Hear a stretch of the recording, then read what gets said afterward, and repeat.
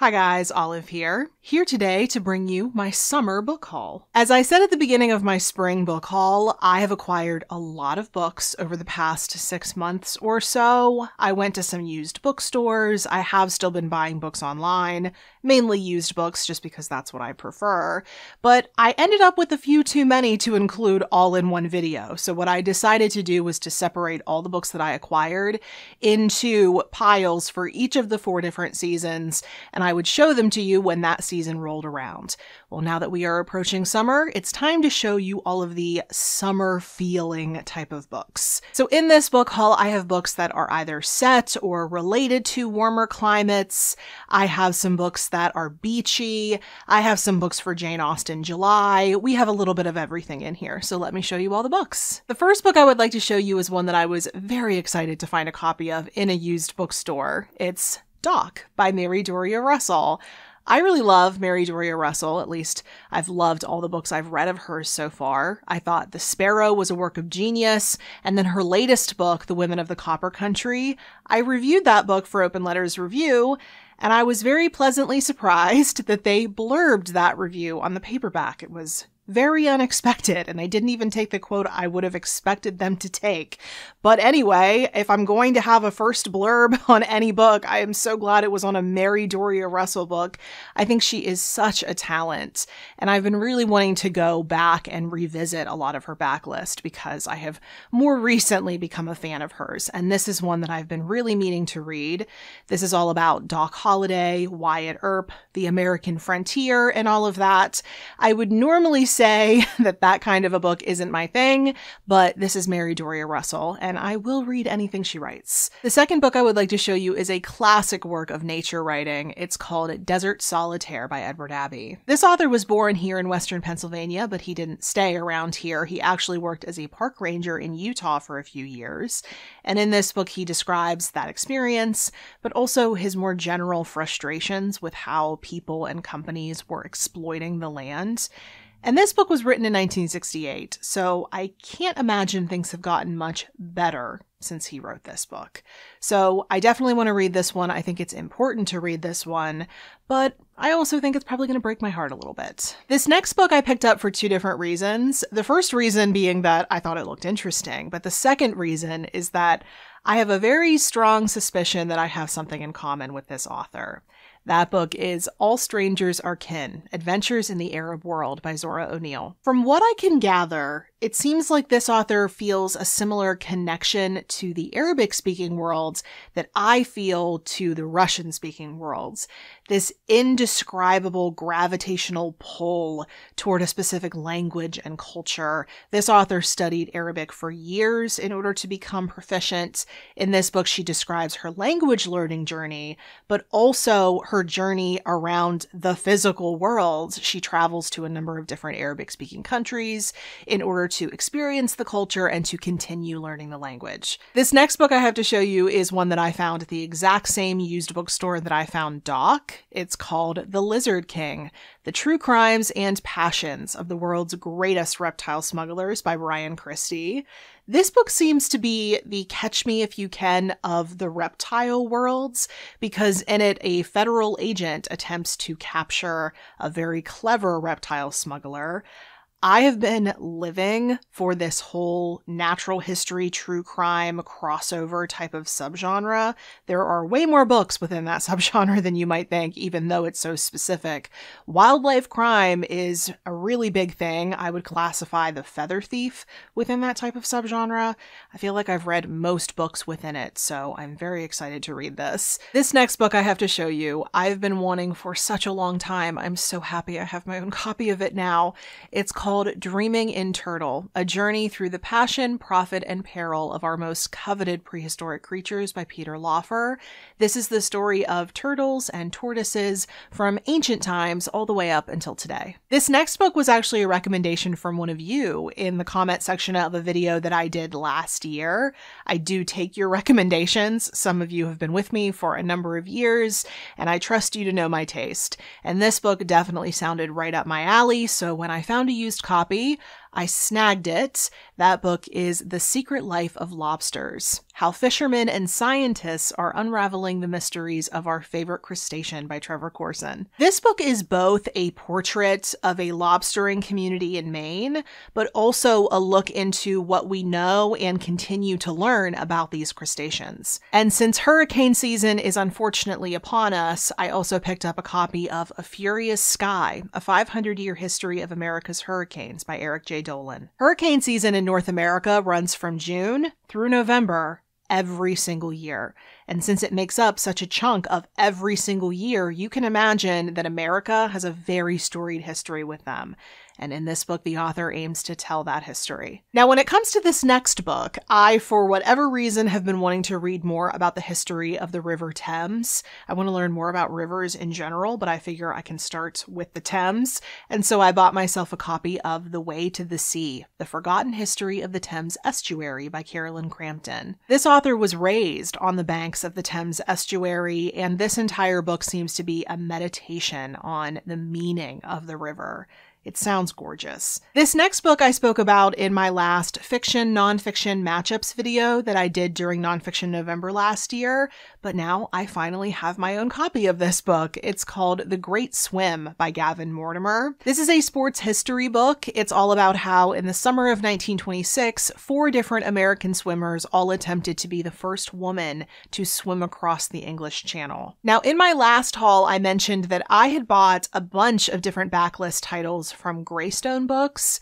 Greystone Books is an indie publisher. They're one of my all time favorite publishers. I love pretty much everything they put out.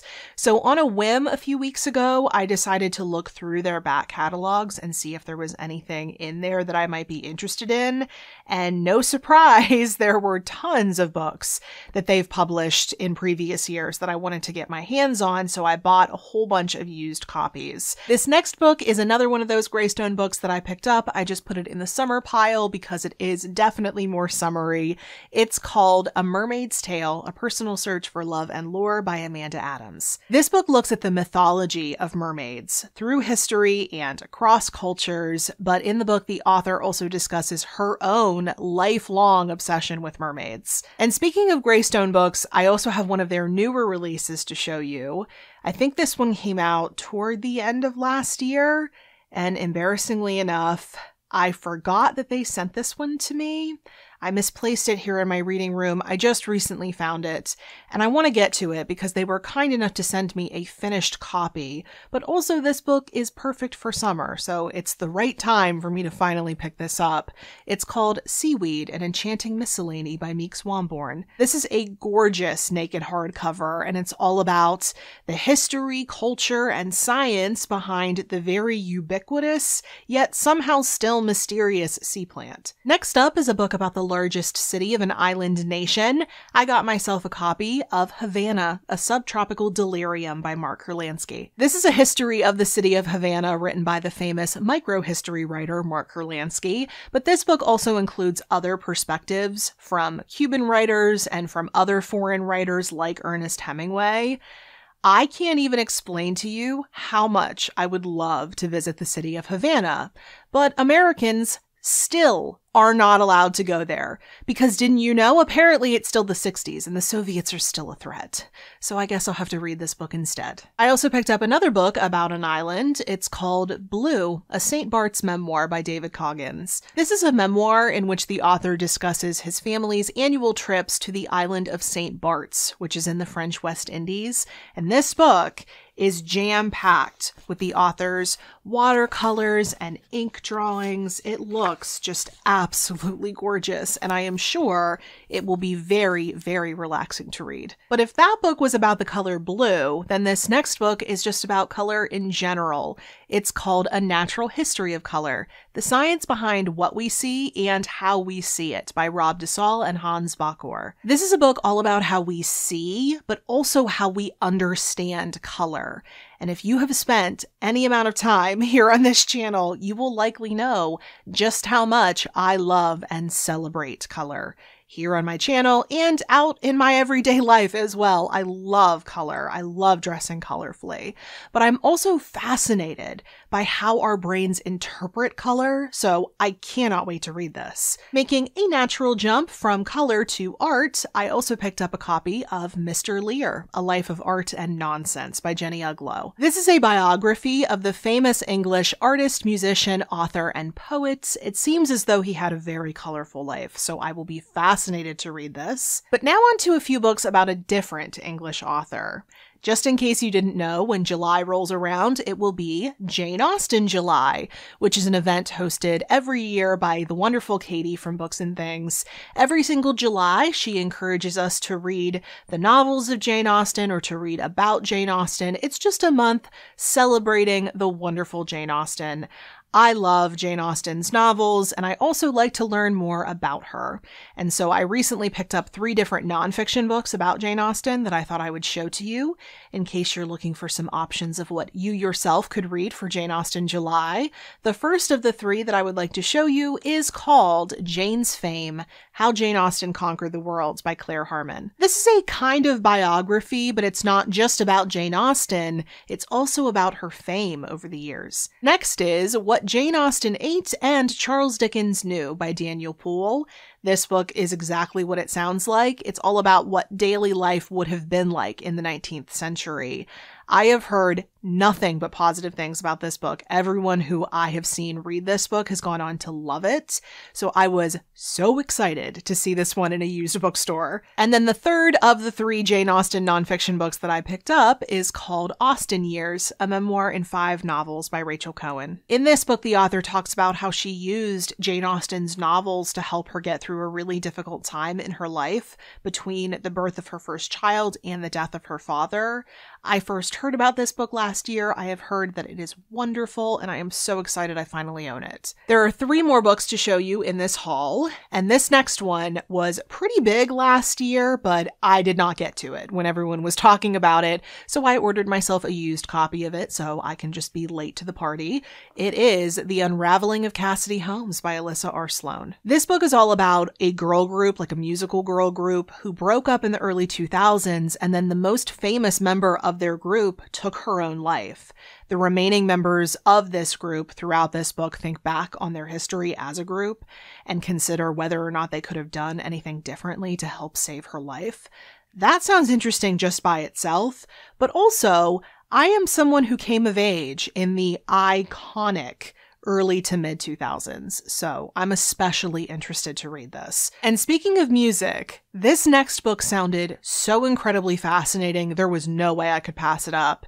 It's called Uproot Travels in 21st Century Music and Digital Culture by Jace Clayton. This book was written by a DJ who has played music all over the world.